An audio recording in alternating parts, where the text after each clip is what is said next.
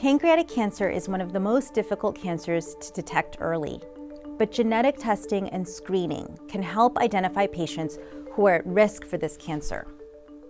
In this video, I will talk about pancreatic cancer, the early symptoms you should know about, review the types of pancreatic cancer, the risk factors, prevention of pancreatic cancer, and finally describe the types of treatment that are available.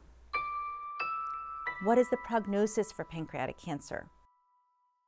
About 60,000 people in the United States are diagnosed with pancreatic cancer each year. The five-year survival for the traditional pancreatic adenocarcinoma is about 9%. However, endocrine cancers of the pancreas have a much different clinical course, with people living for many years. Remember that these percentages do not mean much for any individual. They describe results for a large group of people.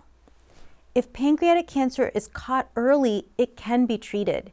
So it is very important to know about the signs and symptoms of the disease and what you can do if you or a loved one have a diagnosis of pancreatic cancer. What are the types of pancreatic cancer? There are several types of pancreatic cancer, and they can be divided into endocrine and exocrine. Endocrine tumors are those that begin in the cells of your pancreas that make hormones, such as insulin. We will not be discussing these endocrine tumors during this talk. For more information on endocrine tumors, cancer.net has additional reading that we have included in the links below. The focus of our video is a common type of pancreatic cancer called adenocarcinoma, which is considered an exocrine tumor. These tumors usually start in the ducts of the pancreas, which are parts of the exocrine cells. How can you tell if you have pancreatic cancer? Most people don't know they have pancreatic cancer until they become very ill. One of the signs of pancreatic cancer is jaundice, a condition when your skin and whites of your eyes look yellow or greenish. Some patients with jaundice may have dark urine or light or clay-colored stool.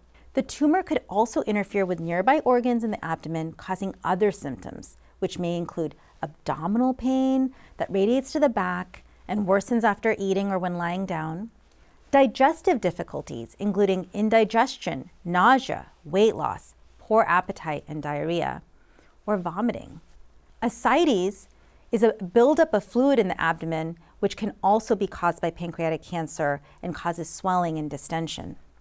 Sudden development of diabetes in people with normal body weight or the loss of control over well controlled diabetes could also be a warning sign of pancreatic cancer. What could I have done to prevent pancreatic cancer? People often wonder, was it something I ate or a habit I had? Or is this genetic? What we do know is that pancreatic cancer does not develop from consuming a particular food or drink. While scientists are still working to understand how this cancer develops and the best way to treat it, we do know that your genes may play a role. As many as 15% of pancreatic cancers are related to a family history of the disease. Research tells us that the chance of someone developing pancreatic cancer increases by two to three times if a person's mother, father, sibling, or child had pancreatic cancer. Which genes are linked to pancreatic cancer?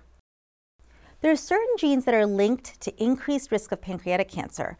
For example, the genes responsible for breast and ovarian cancer, BRCA1 and BRCA2, are also highly associated with pancreatic cancer.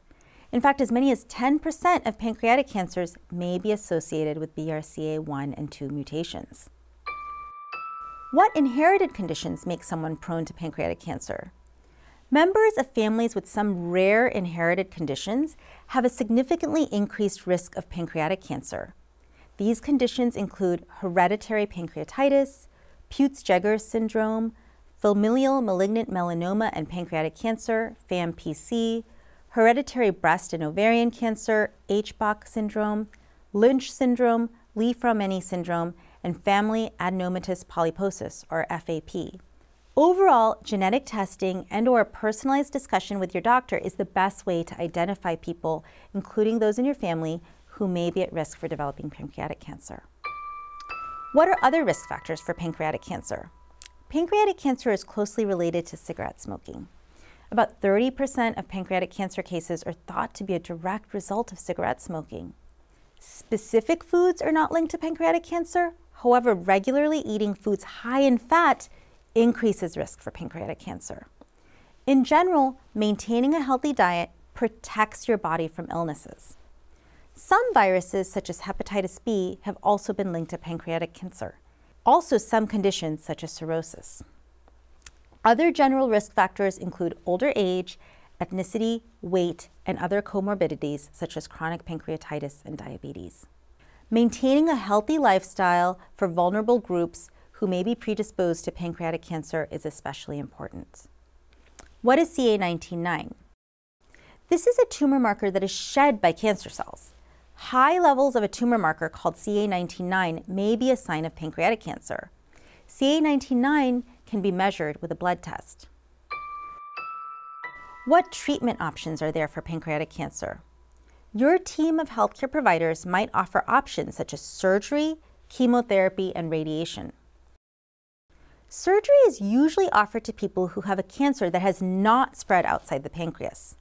The operations are known as a Whipple and a pancreatectomy. A Whipple operation removes the head of the pancreas rather than the whole organ, while a pancreatectomy is a complete removal of the pancreas.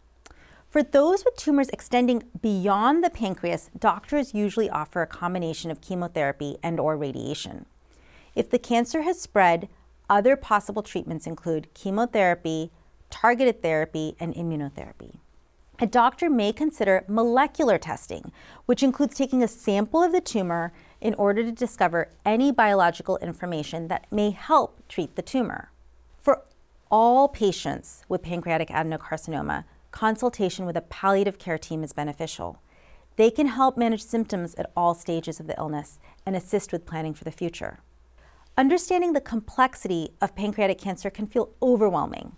If you or a loved one are concerned about pancreatic cancer, prepare a list of all of your questions and bring that list when you visit your doctor. Consider asking about genetic testing for you or family members who may be at risk, and consider a consultation with a palliative care expert.